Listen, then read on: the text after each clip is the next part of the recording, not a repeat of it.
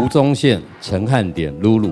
综艺大热门，吴宗宪、Sandy 小明星大跟班，林依晨不够善良的我们，徐伟宁不够善良的我们，郭雪芙此时此刻，贾静雯此时此刻，三立金钟五九入围十项超狂，宪哥主持双喜，准时后们往内呼打。今年综艺节目奖入围的有三立电视的全明星辩论会，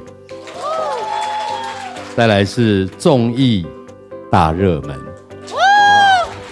十九届金钟奖入围名单今天揭晓，其中三例总共入围十项，戏剧类两项，综艺类包括综艺、益智节目及主持人八项。综艺节目主持人奖入围的有小 S、派翠克、小姐不吸地、吴宗宪、Sandy、小明星大跟班、吴宗宪、陈汉典、露露、综艺大热门、龚恰恰、许孝顺、苗可丽、超级夜总会。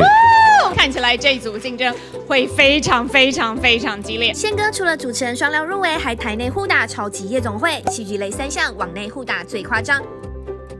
迷你剧集、电视电影女主角奖入围的有林依晨，不够善良的我们，徐伟宁。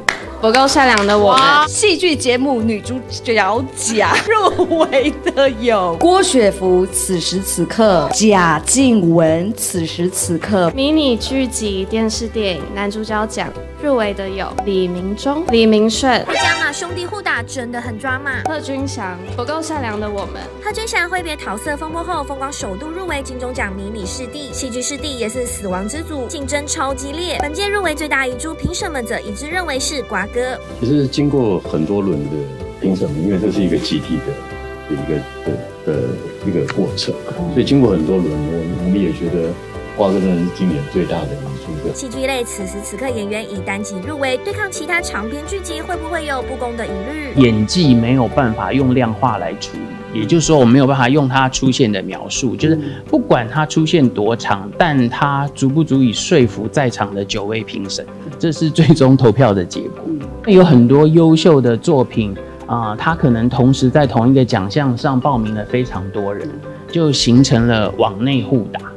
所以这个对评审而言是一个非常严苛的考验，就是我们不但要在网内讨论他们的表现，还要跟网外的其他竞争对手，所以就会让我们的整个讨论过程非常的长。会影响他的性丑闻判决上一段时间，就影响到评审权。我们还是以作品说话，所以不会讨论私领域的事情。凡是没有入围的都是遗珠，然后入围的都是珍珠，然后我们在颁奖典礼那一天就可以见证给大家知道所有评审的掌。上明珠是谁？好吗？谢谢哈。